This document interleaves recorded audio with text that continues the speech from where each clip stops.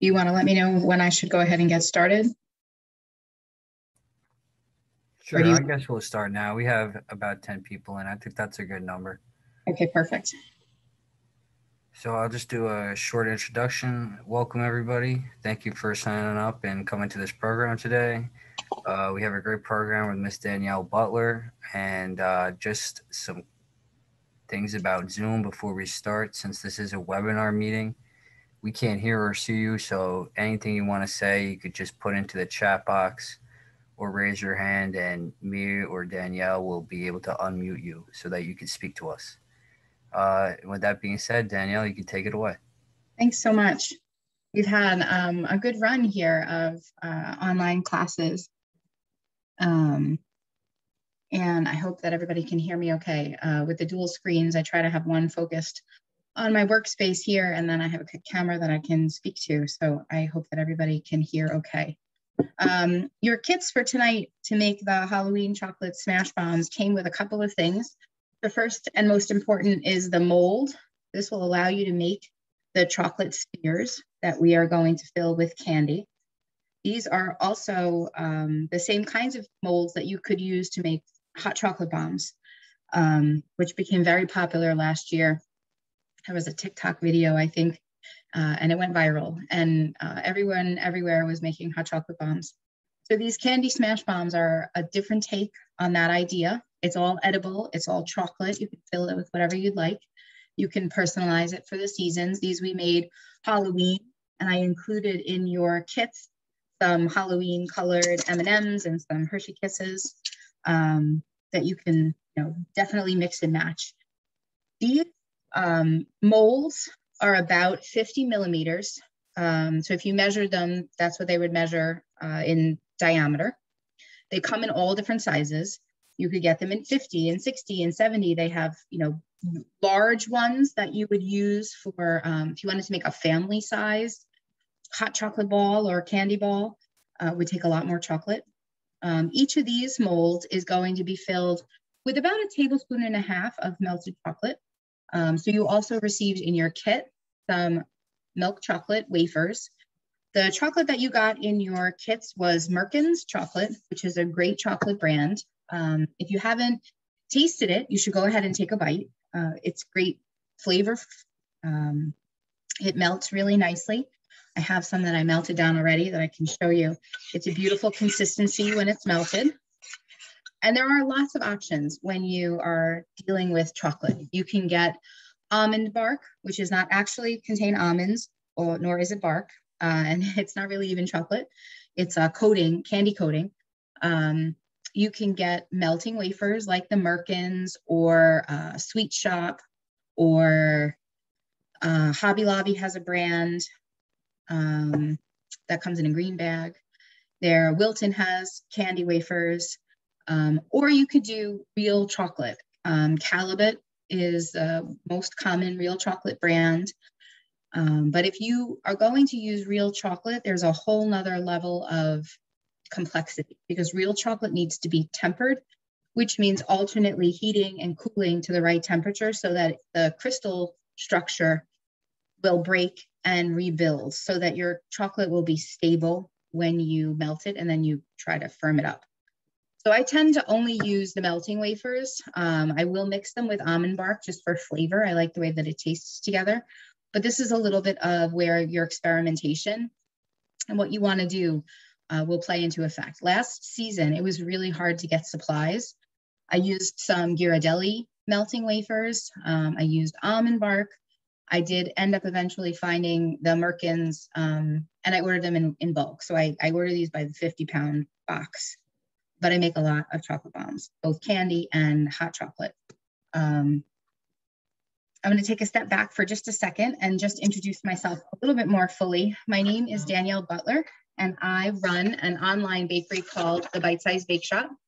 If you haven't taken a class with us before, you can find us um, on the web at www.thebitesizebakeshop.com or on Facebook at the Bite Size Bake Shop or on Instagram at the underscore Bite Size Bake Shop. We are an online bakery that customizes uh, gourmet custom bite size and standard size treats. So we make everything from cupcakes and cookies to full size cakes, pull apart cakes, pretty much anything that uh, you can imagine. Um, we got into the hot chocolate bomb and chocolate smash bomb world last year, and it, it was kind of a whirlwind for us. Uh, we I ended up with about 10 flavors of hot chocolate bombs. And then I've done a variety of different candy smash um, options. We did some uh, St. Patrick's themed ones. We did some Valentine ones. We did some Easter eggs, and uh, I made some large, um, my hands here, large size hearts. They were about uh, eight inches across that were filled with candy and treats. Um, really, really runs the gamut, and the only limit is your imagination. So this is the basics that will take you through the melting and the coating of the molds, but there are lots of options out there. So I would say if you're interested in learning more, just watch some YouTube videos and just start practicing. Your family would like to your mistakes. Um, my family always does. Uh, and I'm sure they'll appreciate the fact that you're giving them all of these delicious treats to, um, to try out. So in your kit, you had the mold, you had your chocolate, for melting and you had your M&Ms. Those are what we're gonna fill your um, candy bombs with.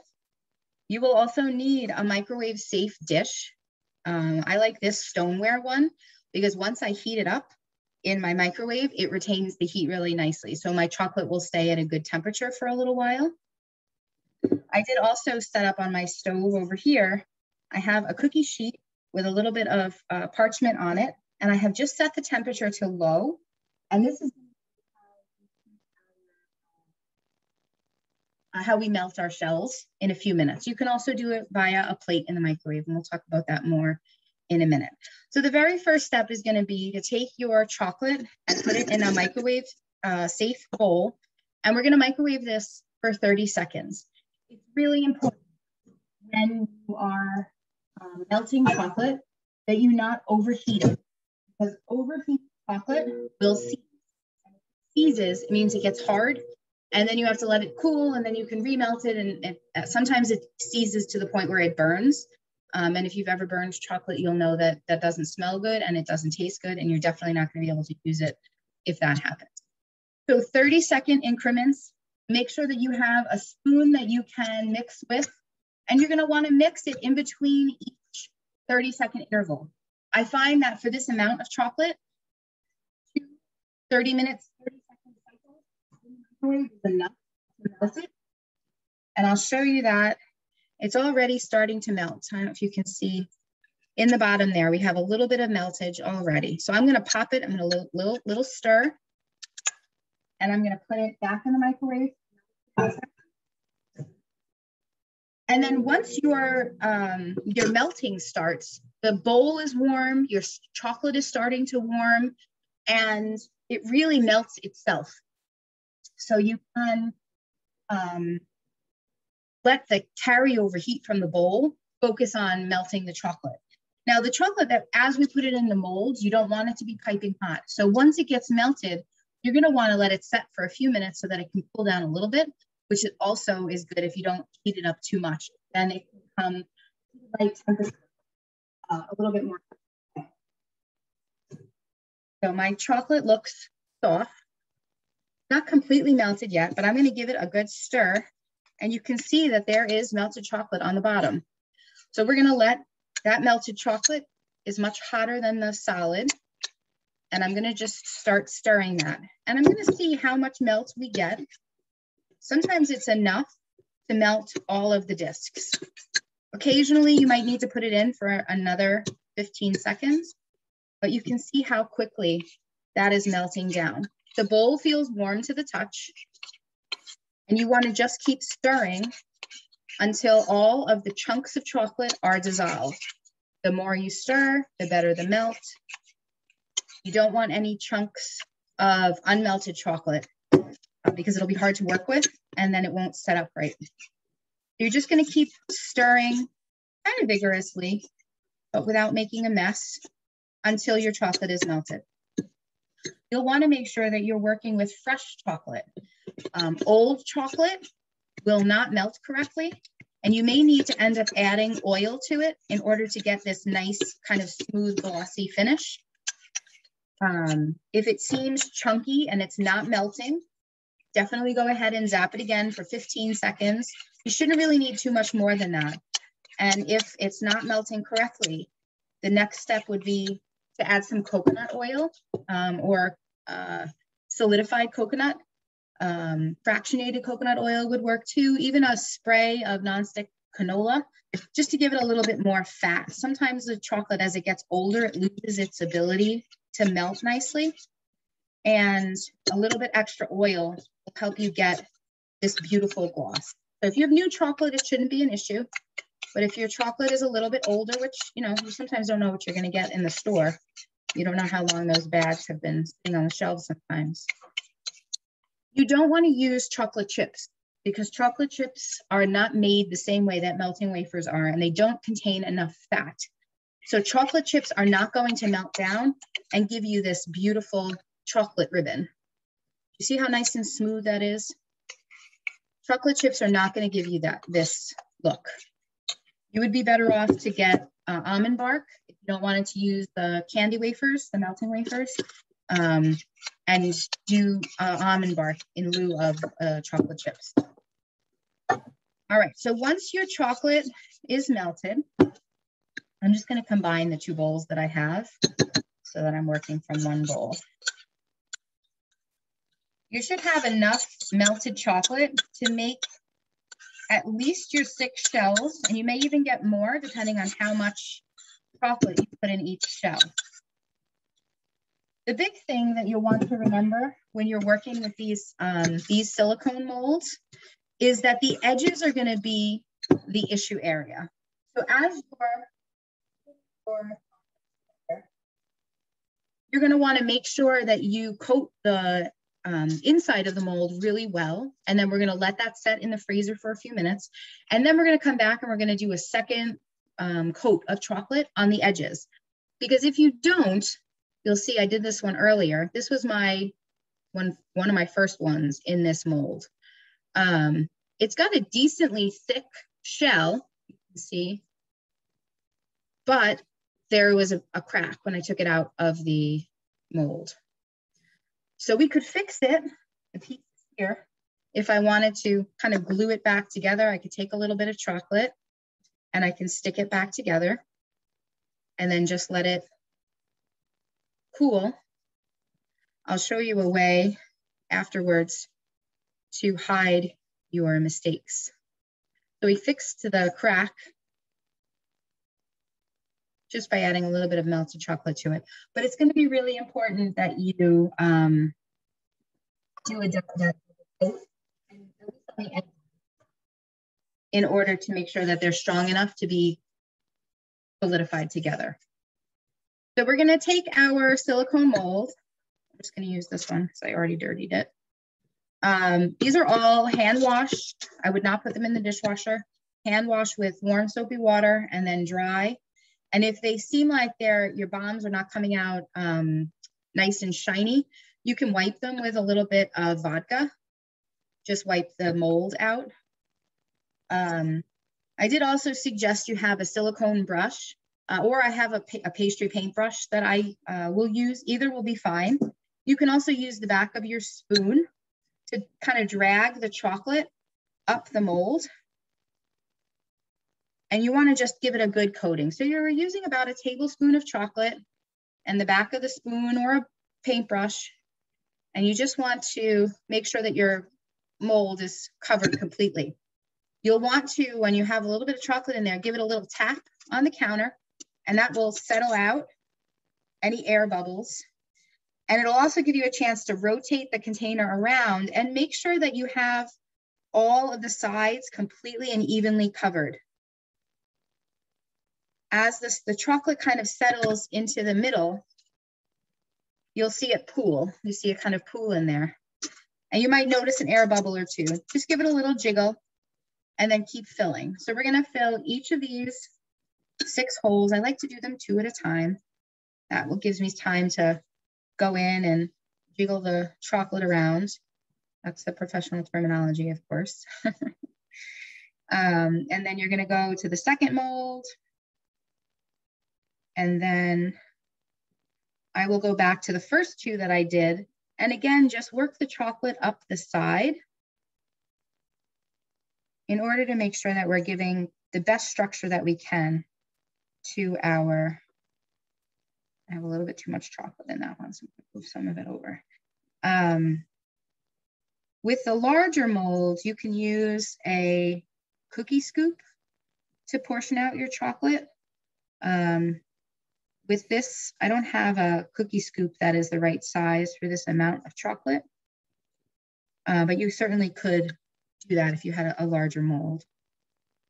So I'm gonna do the last two molds here.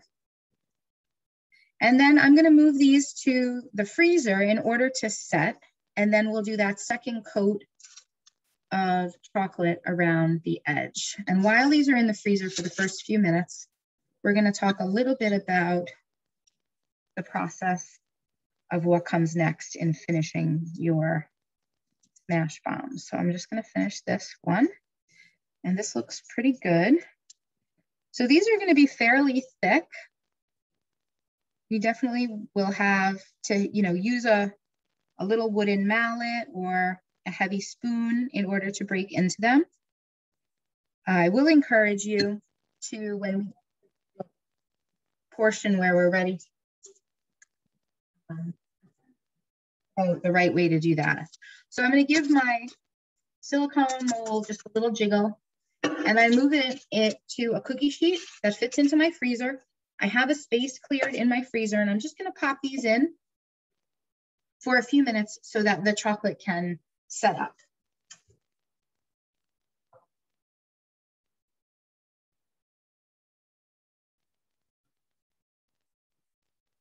So I did a few already, so I could show you that if you are not careful about your chocolate molding, you will end up with weak spots. So this right here, see this, this spot right here, it's almost see-through in my chocolate because I didn't um, ensure that the chocolate on the inside was even. You can see it's a little bit uneven, the coating.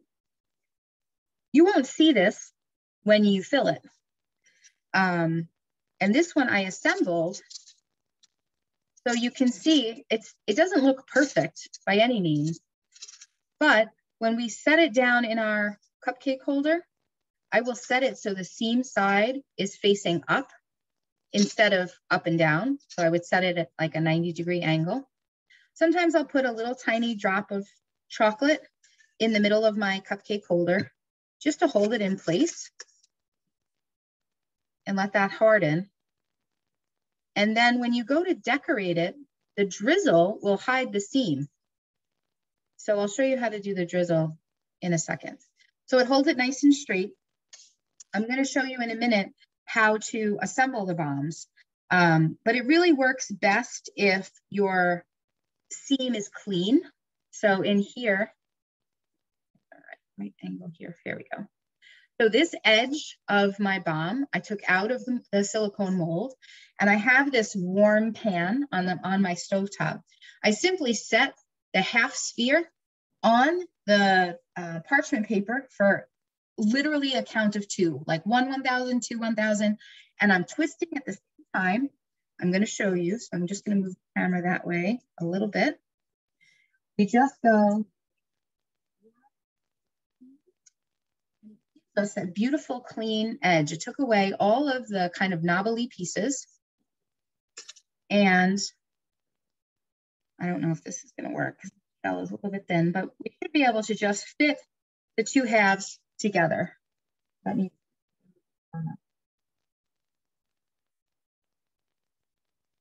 and then we just line up the edges. And in this shell, I, I have a hole. See that hole right there? So I can take a little bit of melted chocolate and I'm just gonna do a little surgery and I'm just gonna cover that hole right up. And then when I put my, my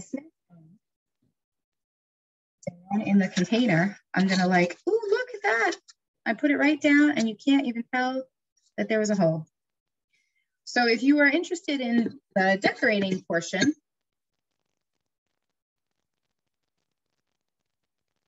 a little chocolate, a sandwich bag works really well for this. You're gonna take a little sandwich bag, turn it inside out. We're gonna put just a little bit of chocolate right in that bag. And then we're gonna cut a little tiny corner of that off. Close up your bag. Just squeeze out the air, close up that bag. And then a little hole in the corner of my bag. And that's gonna give me just a little drizzle spout. I'm going to use and just move the bag back and forth like that. And that's gonna hide all of our little imperfections for our beautiful little bombs. Maybe we put a little M&M on top that people know that there's candy inside.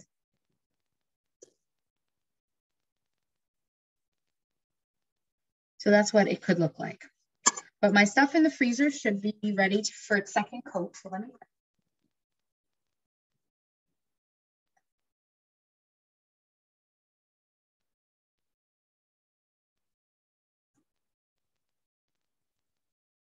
All right, so now these have been in the freezer.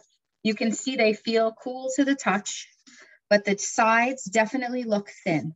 So here I'm going to take just my little um, paintbrush and I'm gonna dip it in my melted chocolate and I'm gonna go around the edges and just shore them up a little bit. Since the chocolate is cold, it will solidify almost immediately against the side. And it's just a little extra insurance so that your bombs don't break when you take them out of the mold or when you try to stick the two halves together. So you're gonna work your way all the way around, just adding a little extra chocolate around the edges. You don't want it to go too far down because you should have a bunch of chocolate in the bottom. So they're gonna be already kind of good and thick on that portion. And the nice thing about chocolate is that if you make a mistake or they break, all you have to do is remelt it and do it again. So you can, you know, you can practice over and over again. If you're not happy, just keep melting and solidifying until you get the hang of it. It doesn't have to be perfect right out of the gate, but if you're not happy, you could certainly keep trying, right? So I am by the time I get to this last one at the end over here, my first two are, are almost solidified already because the chocolate is so cold from being in the freezer. I do not put my chocolate in the fridge. Being in the refrigerator creates condensation and it will make your chocolate, it could make it bloom. Um, your chocolate could bloom. That's when it gets like those white spots on it. If it's heated too fast, that's uh, one of the other dangers we would look out for. If you overheat your chocolate and then you subject it to a, a temperature change, you're going to get that bloom. That's what happens when it's um, rapidly heats and co cools. And if that happens, you can just remelt it again and um, and then try to solidify again. So I reinforced all of those sides. It's all nicely covered. And the inside doesn't really matter what it looks like, so long as you can't see any of the mold on the bottom. So I'm just giving it a quick glance over. It looks, it looks okay. I'm gonna stick back in the freezer for a minute. That's all.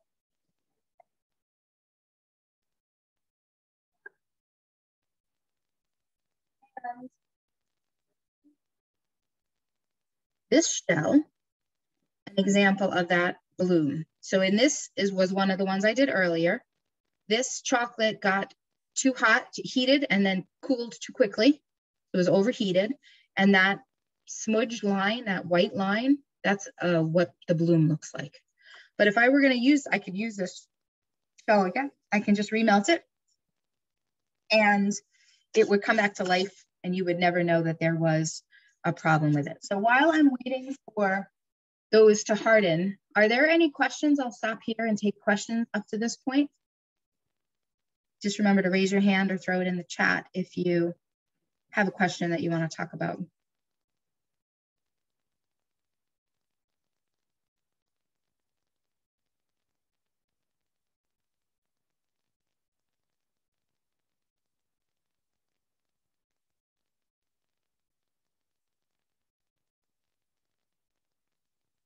There are different um, flavors of chocolate for sure. You can use um, milk chocolate, which is what we're using here, dark chocolate and white chocolate also.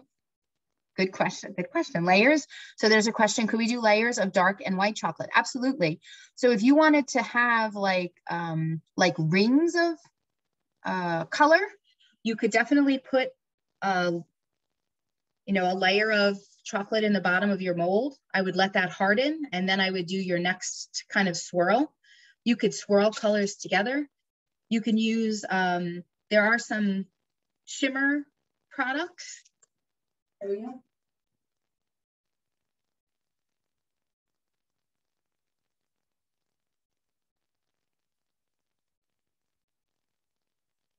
There's a line of um, fat dispersible colorants. This one, the brand is Roxy and Rich. So this is what you would add to your white chocolate if you wanted to make it colored, or you could add black to milk chocolate to make it black chocolate. This one is a red. Um, it does take a fair bit of color powder to make a, a deep dark color. So if I have a need for a colored shell, I very often will use uh, the Candy Melts, the Wilton brand or the Hobby Lobby brand. Um, but I found that there are some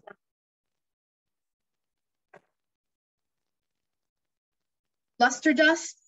Um, you want to make sure that any of the sparkly metallics that you use are labeled as edible and non-toxic. Um, so this is 100% edible food grade confectionery shimmer.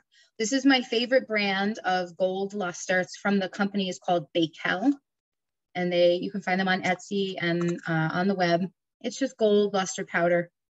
I use this for my royal icing cookies or to um, add a little bit of extra sparkle. But if I wanted to do something really special, I'll show you. We can take a little bit of shimmer. I need to get a clean brush.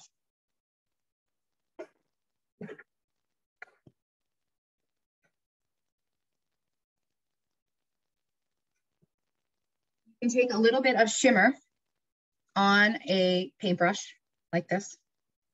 And I'm just gonna brush it inside my mold, just kind of around.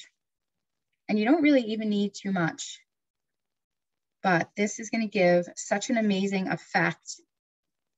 You'll end up with a gold looking hot chocolate bomb. So this is really fun to do. I have a couple of different colors of this shimmer. Um, if we were to add then, then our chocolate. Same process. We put the shimmer in, then we add our chocolate and you're gonna brush it up the side.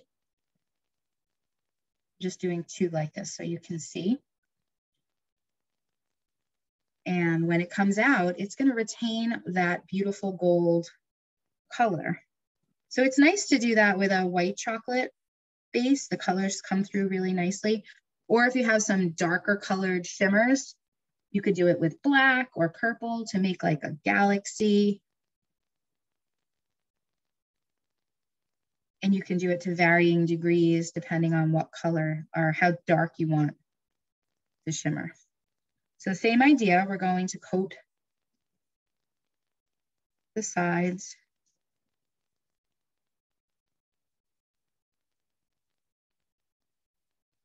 And I just wanna make sure that it's, we give it a good little tap, right?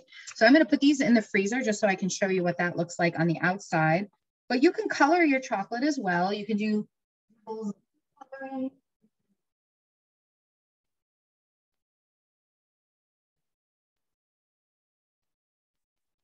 My bombs are fully, fully hardened now. So before I unmold them, I like to stretch the mold a little bit. You'll see I'm pulling on the edges. I like to pull it side to side and it helps release the chocolate. you can see it kind of come away from the side so that you're not just trying to break the chocolate out of the mold. So you wanna make sure that it's all nice and loose. And then I'll take the individual section and I'll push up from the bottom and unmold the shell half. And that's a beautiful, nice round. But you see all this extra on the side here? That's what we'll clean up before we fill them. With these, oh, that one, that one cracked. See, that happens sometimes. We'll just set that one aside. Um, I have found that it's just easier to remake the halves than to try and repair it sometimes. So that one stayed nicely together. This one, and these are, you know, these are fairly thick chocolate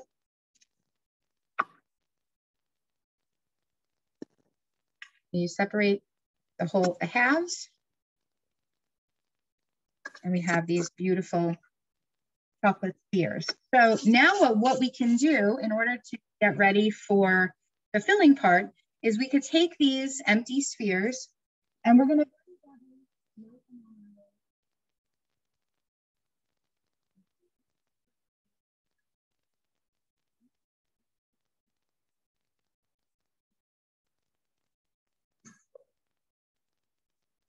hot, it'll burn my shell. But you see, it took away all of the edge.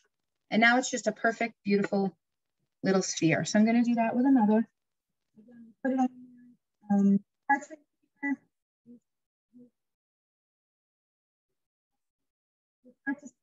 melt away and it took care of all of that edge. These are gonna be easier to seal if they have a clean edge.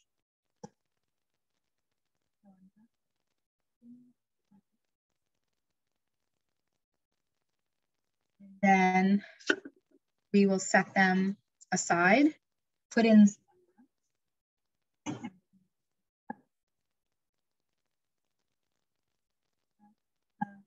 mold had a weak spot in it.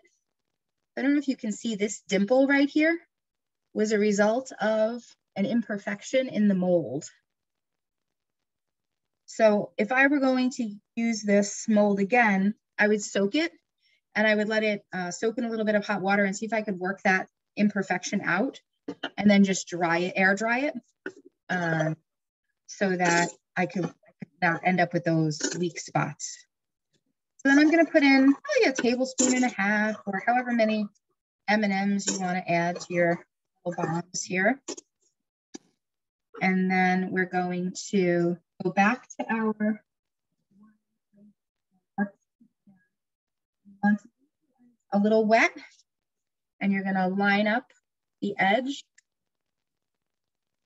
just like that. And then you can use your finger to clean up any extra chocolate or a paper towel if you want. And then this, the edges seal so nicely together. And then look at that beautiful little smash bomb that you have. Do that again.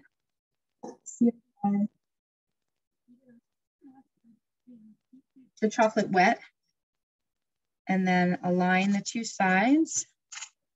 Use our finger to clear off the extra chocolate. So that one didn't seal as well. I'm gonna take it off and I'm gonna try that again. But because I already heated one side, I'm gonna switch the side.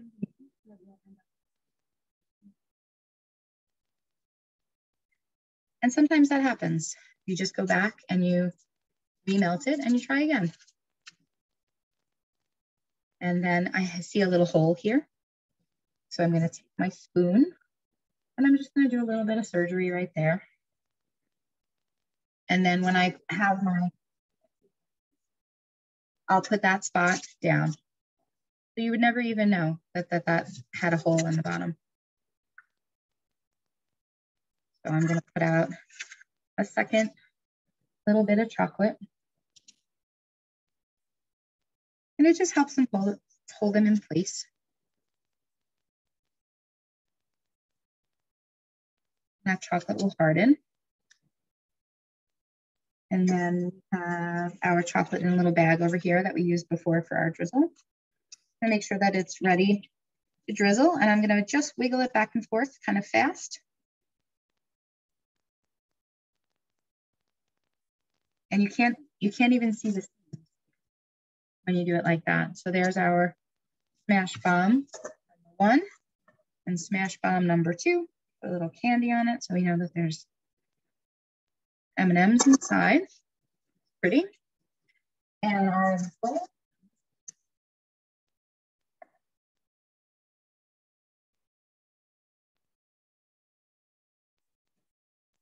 it feels hard.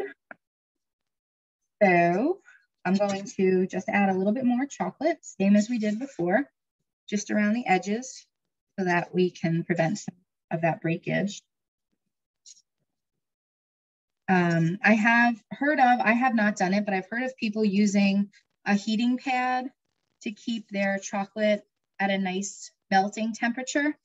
Um, I'm working right here on my stove top. So the other thing that I'll do is just put the oven on and I'll heat up this the stove top and it helps keep everything on the warm side. Just be careful that you don't get burned um, if you're working that way. So this looks good. And like I said, it, it comes out of the um, freezer and it's so cold that it's immediately hardening that chocolate. So if I move the mold away from the edges, right? Like we did before. And we pop it out. We have this beautiful gold bomb. Kind of incredible. That was just that little bit of uh, luster powder on the inside of our mold. So there's lots of options in terms of, we did a little bit less on that one side. Um, but you can see if you were going to,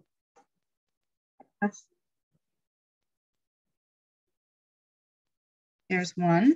We're going to clean up the bottom. Really creative, um, all kinds of fun things with the decorations on the outside. And I'm just going to seal those two halves together and have a beautiful gold Christmas ball or holiday ball. So that is beautiful. So if you were going to crack this open, your smash bomb, the kids really like this part, and uh, heavy metals.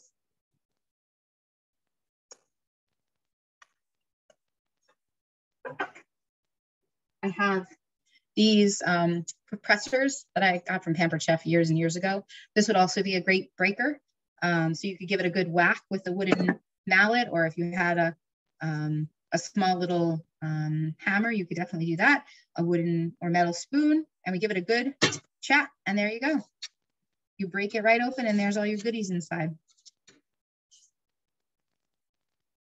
A question about how to seal. I'm sorry, it's hard to hear. Uh, so we're sealing with this.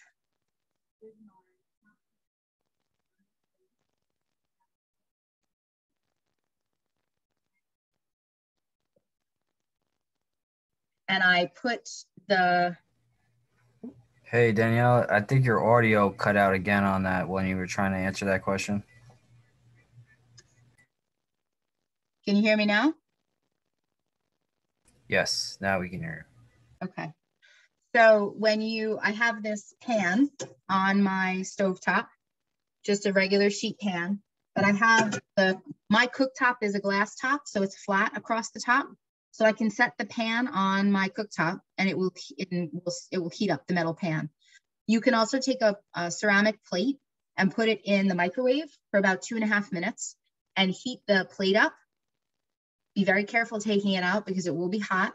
But then similarly, just take a sheet of parchment paper on the warm plate and then uh, the chocolate will melt when it comes in contact with the, the hot ceramic or the metal sheet pan.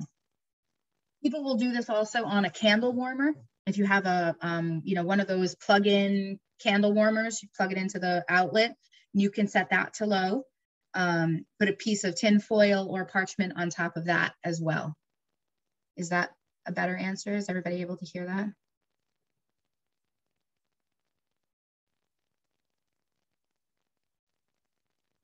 Any other questions? Yes, we could hear too. Yes.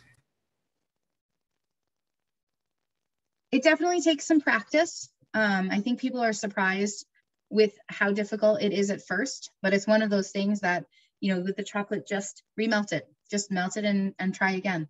And just keep going until you get the hang of it. You'll figure out what style works for you, what size works for you. There's lots of molds available, even on Amazon. Like I said, these were 50 millimeters, but you could very easily get a 60 or 70 millimeter um, mold. Last year, the, the most of the bombs I made were about 70 millimeters. So they were about three inches across. Um, these are uh, a much smaller, but if I were gonna make the hot chocolate bombs, I would go with a big, slightly bigger size. All right, any other questions or things that you wanna talk about before we finish up for the evening?